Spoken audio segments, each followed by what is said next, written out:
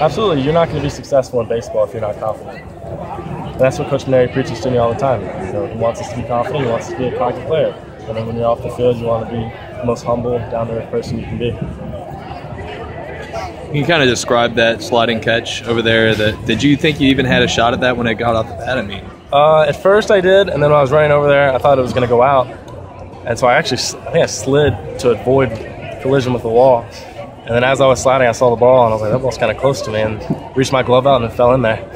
Uh, how far do you estimate you had to run for that? I don't know, pretty far, because I was cut about a foot from the wall. So uh, lucky I didn't flip into the stands or anything like that. Yeah. How do you? Where do you go from here? How do you top that? I mean, it's only your first game, so how are you going to do it next time? Just got to keep it in perspective. This is the third game of the season. You try to improve every day in practice, get a little bit better, because um, we're a long way from where we want to be as a team. We got a lot of things we need to work on. We need to hit the ball better, but that, that stuff's going to come. It's early in the season. and we'll get to, we'll get to where we want to be. How comfortable do you feel with Alex? Double play wise, it looks like you guys have been doing it for years. Alex Bregman is the best player in the country, no doubt in my mind. And just to learn from someone like that all year, uh, it just it gives you confidence and gives the whole team confidence. He's a great player and a great leader, and a tremendous work ethic. It rubs off on everybody else. When did you figure out you were starting? Uh, not from coach. I got to my phone after the game yesterday, and my mom had texted me and said that her phone was blowing up because the announcers on TV said that I was getting a start the next day. And so I just looked at my phone, and my mom said, "You're starting tomorrow." All right, better prepare then. You prepare. You prepare the same for every game because you never know when you're going to be called upon. You just got to do what you can to help your team win. Did she give you a pep talk? she just pretty good. she just told me she loved me and that she was proud of me. That um, no, regardless of the outcome, that uh, she's really proud of me and where, I, where I've gotten to and the person I am. What do you think's on your phone now? When you I don't know.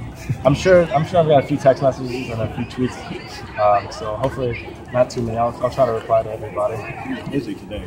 They beat Texas by 16. Uh, she and my sister um, went down to UT and had a great game. So really, really proud of them.